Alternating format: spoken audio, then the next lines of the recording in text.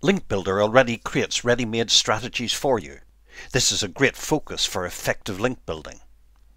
But you can also create your own custom campaigns through filtering and tagging. Let's look at an organic food project. While scanning the prospects, I found this article published on inhabitat.com that linked to wholefoodmarkets.com. This suggests a niche for green products and it's easy to discover. Click on Filter. Choose Top Link Contains. Enter green and hit Apply. Link Builder finds 233 prospects. Select the first 100 prospects and tag them with a name of your choice.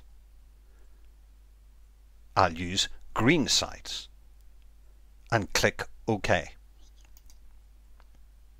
The 100 prospects are now saved and you can access them just by clicking on the tag.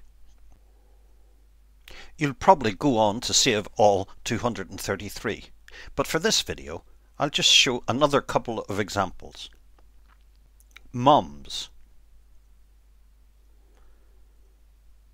dot orgs.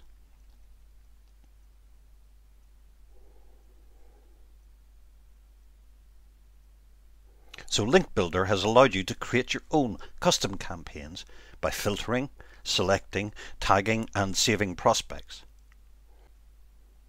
You can also filter by anchor text, rank, co-link count, follow and no follow, and so on.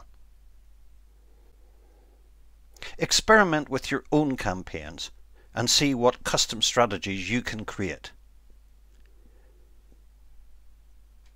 To learn more about Link Builder, be sure to watch the rest of the videos in this Getting Started series.